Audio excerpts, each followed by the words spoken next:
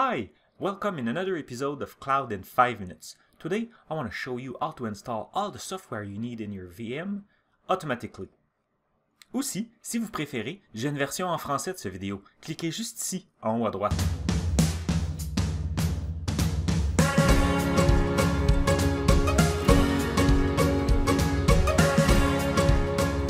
Hello again, let me introduce myself. I'm Frank Boucher, Microsoft Azure MVP, based in Montreal in Canada.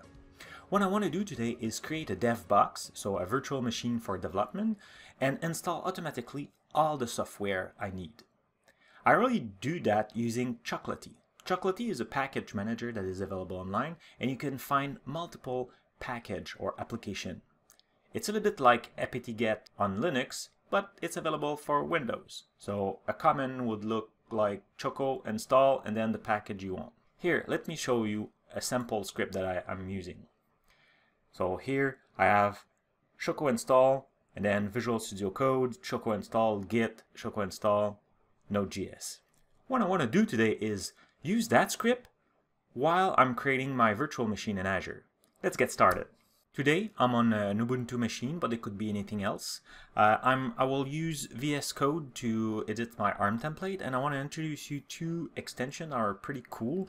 The first one is that one here, Azure Resource Manager tool. Uh, it will give us IntelliSense and uh, some validation of the script. The second one is here, the Azure Resource Manager snippet.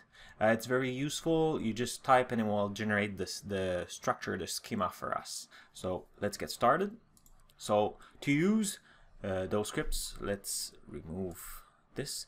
To use it, you just need to be in a JSON file. So uh, here I am in a JSON file. So to use the uh, extension, I just need to type ARM. It will suggest me. So by default, the ARM alone will give me a skeleton, an empty skeleton. So now what I want to do is go in the resource section here and type again ARM, but this time I will pick the ARM Windows VM, or in fact ARM VM Windows, because I want my dev box to be a v, uh, Windows. I do that, and now I have pre-selected bunch of places in the file, and I just need to type the name of my VM. So I'll call it Frank DevBox. No typo, by doing tab, it's jump to the next section. So now it's the administrator name, so we'll use Frank, and as a password, Jazzy Ball 16. Voila. That's it. So we'll save that. So right now, this is perfect. It's a functional ARM template. If I use that and deploy it, it will create a Windows machine. But I also want to install application. And to do that, I will leverage the custom script extension. So if I go in the Azure documentation here, I see the custom script extension for Windows and I have all the prerequisite and the explanation. And but here that's the part I need. So I will use that part. I will paste it here so I don't need this extension. I'll remove it and replace it by mine. Voila. So now I don't need this dependency I'll remove it and I need here oops to place the name of my VM since it's the dependency so computer VM and devbox. Here see the first extension we install. It mentioned the val it validate the schema and it says that this name is not good so we'll remove it like that. So devbox now the depend so the extension will wait until my VM is created. To use the custom script extension your script need to be on a blob storage it needs to be available online would it be in a blob storage or publicly online in our case we'll be using the it's on github so it will be publicly available online so I don't need that I will use this command. So this command will call PowerShell and call a script. The script will be downloaded from the URL to uh, the local machine and then execute. So here what I want to do is I will remove that and we'll use a variable. So here variable and I will call it script URL. Voila, a square bracket. Here, complains that the variable doesn't exist. Let's create it. Go on the top in the variable section. Voila. And now I need a value. To do that, we'll go back on my Git page. Oops, Git page here. I want to use that script, so I will go in the raw version here, and I will use this URL as my URL for my script. So paste, paste it here. Saved it. And I think we are good to go. Oh no, we are not good to go.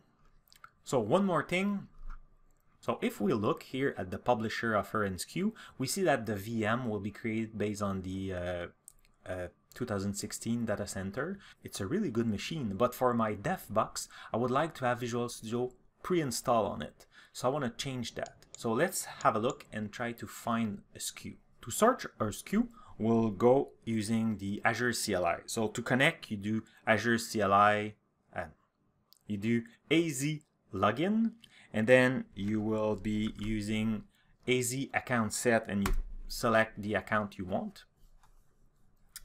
And then what we want is look for publisher. So to do it, we'll go AZVM image because we want to look into the images available in the market.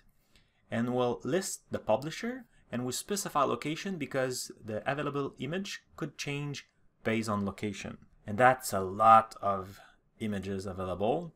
Mine is something Microsoft, I think Visual Studio. So let's go here. Microsoft Visual Studio. So this is the one I'm looking for. So now we'll be looking for the offer. So let's clear. And now we'll list again. So VM image list offers, same location. And now we pass the publisher a lot less options. Perfect. The one we are interested is Visual Studio. So we'll pass that and now we'll search for SKU. So now Azure VM image and we list SKUs. We pass the publisher and the offers like that. And we see all the images that are available. So I will use that one with Windows 10. Perfect. Now let's use those information inside our ARM template. Voila. So here I want to replace those three information. So now it's Microsoft Visual Studio, Visual Studio, and the Windows 10. Voila! Our script is now ready to be validated. Why? Because it's a very good practice. You will save a lot of time by validating all your script before trying to create a deployment. So as usual, let's go back to the terminal and we'll do a clear. So we need first a resource group. So let's create one. Call I will call it cloud in five minutes. Location east US. As usual, you pick what's best for you. So our next command is Azure a group deployment, but this time is validate, not create. We'll pass the resource group, it's important, it's a mandatory parameter, and we'll pass the file, so our JSON file that we just create. Perfect, let's see if it, it pass. Yes, it is. So we could see here everything is perfectly fine. Great. Now it's time to create it. So let's clean everything. So here I have AZ group deployment, this time create. I specify a name for my deployment. It will be useful. So Frank DevBox demo. We'll find that in the portal. We'll, we could use it and we could also use a command line to see the status I'm passing the resource group, of course, and the template file. I put verbose just to have a little bit more detail. So let's run it. It should take about seven minutes. So while it's running, let's go in the portal and, and see what we can see. So in the Azure portal, well, let's refresh that. I should have now perfect cloud in five minutes. So see, we already have few components that are created. It's really useful to use the ARM template because Azure will check and validate and it will parallelize everything that is possible to do. So it's the fastest deployment you can have. To know a little bit more about deployment, we go here in the uh, left side and we click on deployment option. And we see have we have our Frank, Frank DevBox demo deployment that is still deploying. And if we, if we click here, we'll see all the status and we see that it's been 56 seconds since it was created. We'll be back to you when it's done. Job done. Perfect. It took 6 minutes 35 seconds. Not bad for a, a, VM with Visual Studio install and all the software you need. Pretty cool. Now let's go and remote desktop into it. So to do that, we'll go back in the resource group. We'll go in a VM to get the IP. Here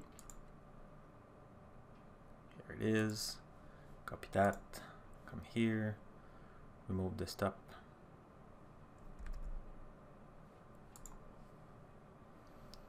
Well, you paste the